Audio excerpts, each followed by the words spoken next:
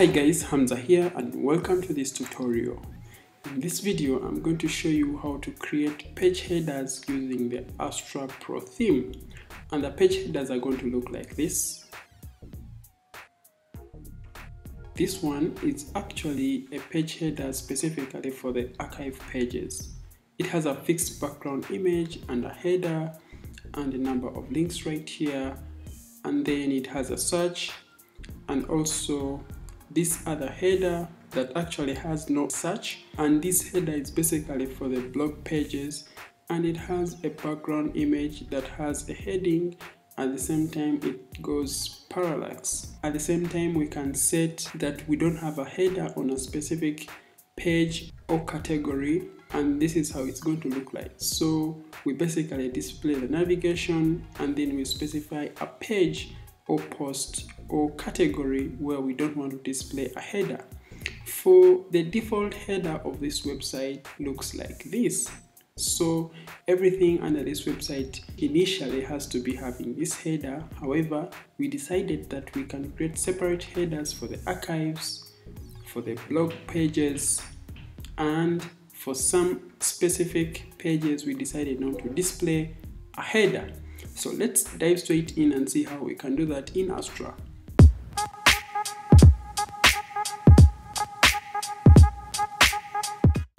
So to start off and create your page headers using the Astra Pro theme, of course you should get Astra Pro and you get Astra Pro by basically going to uh, GoTechUG slash Astra which is actually an affiliate link.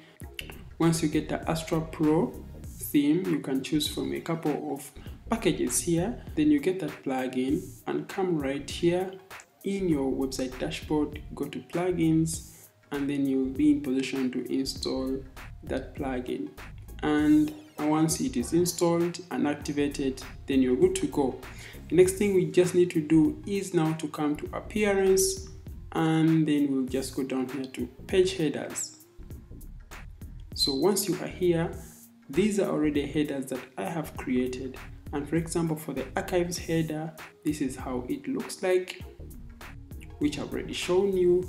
And then for the single headers, which I specified to only be displaying on the single pages, this is how it looks like with a parallax image effect. And if we go and look at the no header which is specifically displaying on an individual blog post this is how it looks like.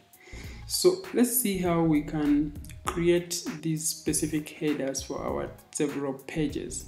So to create the header you basically say add new that means you're going to add a new header and then you can give that header a name I prefer that you name it based on what it's basically going to be doing. So with the Astra headers, you have a number of options to choose from. You can choose whether that page header is going to be aligned centered or inline or you don't have a page header specifically for specific pages that you decide to do that for. And on the other hand, you can display breadcrumbs.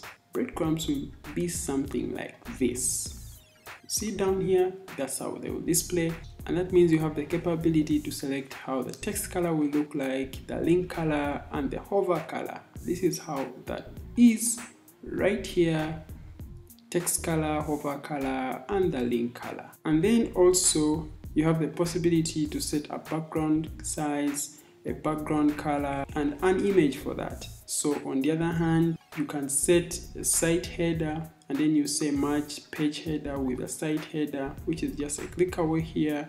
And then you can do the settings right from there. On the other hand you can select which menu is going to display on a specific header that you are creating which is really powerful because you may have different menus for specifically different set of pages. You have the possibility to add display rules based on which kind of page you have created category or section of your website. And you can also decide to choose and display a specific header based on a user role which is right here so we don't need to do anything right here. I'm just going to take you through the already created headers that i made for these specific pages and just see how i did that right straight. So let me start with this archives header. I'll just say edit. Basically to create this archives header I'll just drag this here. I made it to be a center aligned header and then I made sure that I display the breadcrumbs and the breadcrumbs I made sure the text color will be white which is actually displaying as a heading. And then I made sure the text color for the breadcrumbs themselves is going to be purple which is this. And then I made sure that the link color is black and the hover color is white. Link color is black and when I hover it is white for the background size I left it at default which is uh, a custom size of 5 and 5 padding top and bottom you can choose that if you wish to and then there is something that is really important under the image background where I said overwrite this image with a featured image on individual blog posts or pages. This is what that does for every blog post that will be coming here as the number one. This page header will use its featured image as the background image. In case you have another blog post displaying on your archives page, if this was the one here, then this image would have been used as the background for our header right here. Once you have that set up, then we go to the site header. We can decide whether to match the page header with a site header, but we didn't do that for this specific header.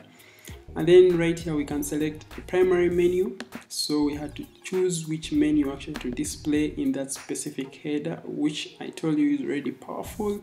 And then I also decided to show a custom menu item and here I have a variety of items to choose from whether to display nothing there, a search, a text or an HTML element or a widget. I selected the search and this is what you see here. So we have here a custom search that we added to this specific header. And that is what we had to select here. But like I said you can choose from a number of other elements right here. And uh, you're good to go. Then the search style here you can select how you want it to look like. For example like you can see on this page it is a slide search style. When someone clicks here on the search icon it will just slide inline. And uh, when you look here in the options you have you can have a full search screen you can have a header cover search you can have you can have one that is based on the customizer settings and basically that's it. On the other hand you have to choose the display rules where you want the specific header to display on your website. So in this case i selected all post archives but there are a number of other options you can select and uh, you can have it affected and only displays on those pages you can also make this header actually to be shown to specific users whether administrators you know, whether contributors or only site visitors. In this case, I set it to be uh, on all the website users. Once you have those changes effected and set up, then you just hit the update button and then just reload this. Once that is done, then I'm going to take you on another header that we created, which is actually one that is this, which is for the single blog posts. So I'll come back right here to headers and then I'll come to the single headers edit. So I set that the page header is supposed to be in line. So it basically sets the page header to be in line on that specific header where you set it and then you have the possibility again to make all the other changes like changing the text color. For example if I change this to blue and the update which is under the breadcrumb display then when I refresh here it will change to, from white to the color that I've selected. Okay? So that's what basically it does. And then you can change the padding settings and also the background color. And in this case we actually don't need the background color on this so I'll just clear this up because of course it's not going to be displayed anywhere. And then we can override this image with a featured image on the individual blog post. In this case we are picking up the featured image that is on this blog post and we are going to use it as our header background image and at the same time we set it to be parallax. And this is what I mean when I try to scroll up you realize that the image is parallax. So that's one of the beauties. And once that is done then you can set the site header. Of course you can select whether to merge the header with the site header which we didn't do. But here you have the option to select the menu that you want to display on that specific header. So in this case I selected this menu. And then we also have the possibility to select the custom menu item. In this case we never selected any. Remember on the archives header we selected the search. In this case we said none. And that's why we don't have anything right here in our menu once that is done then we go to the display settings and we select where we want this menu to be displayed. And in this case we said it will only display on the singulars. And then we also set the user roles which are for all. Means this header will be displayed to all the users of this website. And we simply hit update. For your case it will be publish and then whenever you make any changes you have to update. So when I reload right here you realize that nothing actually changes because we only changed one option but you get the whole idea of how you can have a menu just like this for only individual blog posts. Let me just show you another blog post. See how that looks like? And then if I show you another blog post what I learned from yoga something like this. So you have really to be very selective on the color that you're actually going to be using on your breadcrumb text so that it can easily contrast well with your background images. However if you don't want the background images you can just come right here on the page header and then you disable this override option. Then you have to make sure that actually you set the background color and once you set that background color let me say something like this. Maybe we say white or we can say uh, purple. And then you have to make sure that now the text color changes. One that will contrast with the background color. And then now we don't need the parallax effect because nothing is going to be parallax. We no longer have an image. When we say update that will update our header for the singulars. Now when I reload this expect to have a background here no image and this text changing the color. So we reload. Boom! You may want it to be something like this but you can set it the way you want. So once now we have seen how to actually create a specific header for our singles now we can go straight and check how we made that some of our blog content won't have headers but we can only display navigation. We are going to come back to appearance page headers and then I'll just open the no header header. And then I'll just drag over this blog post just to bring it right next here to where our header is. And now we start off. Here the option we selected is actually no page header. So we don't have a header on this page. And then we selected that the site header should match the page header with the site header. So we selected that. And then we chose the site identity. And then we said different logo for this page header. That's why you see that we have a very different logo from the logo we were having on the other blog pages like if you look at this option this is the main site header that is running all over the whole website. But here we have the possibility to set a separate a separate header for this specific header. And then we can choose the width we can uh, choose a custom background overlay color we can choose uh, primary menu color and this is where this blue comes in from. Then the link color which is white this is the link color and then the active color you can also set it. You can also set it right from here. And also you can set a primary menu. And that is the menu that you want to display in that specific header. We selected this menu. And then we have the option to select a custom menu item with a widget a search icon a text stock and HTML so we selected none in this case and that's why we don't have any other element after our menu and after that we go to the display rules and this is where the magic happens. So here what we did was basically to say we want this type of template that we are setting up for our header which is actually a no header to display on specific pages posts and taxonomies. And we specified a specific blog post that is going to be affected by this header.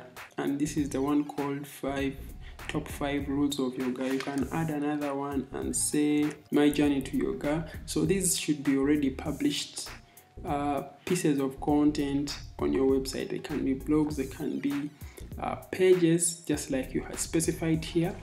Now, what we are going to test is we are going to make sure that these two blog posts are actually not having the header that other blog posts are having. So in this case, they should have a header similar to this. So one is five rules of yoga and my yoga journey. So I'm going to open this my yoga journey right here this blog post has a page header that is like for all the other archives pages but once I hit update here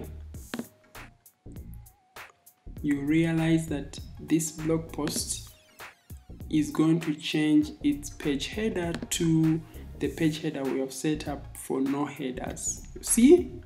Boom. So it displays right here. And the same for this other blog post. So that setting we do it here where specifically display a specific header for a specific set of content types. And then we can also display a specific header based on some users you have editors you have authors you have contributors and you want to show them specifically different page headers. You can set that up from here. You can specify uh, that group of people and uh, once you select right from here then you just simply update.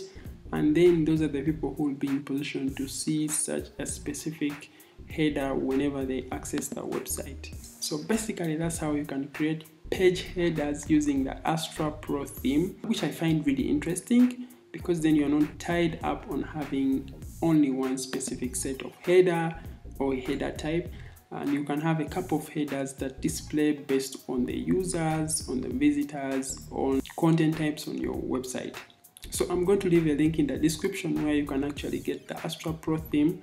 If you purchase Astra Pro theme through my affiliate link, actually get a commission with no extra cost to you and that way I can keep making such videos on this channel. Leave me a comment in the comment box below to know what you think. In case it's your first time to this channel, don't forget to hit the subscribe button and the bell icon so that you don't miss out on new content when I push it out. Thank you so much and see you in the next one. Peace.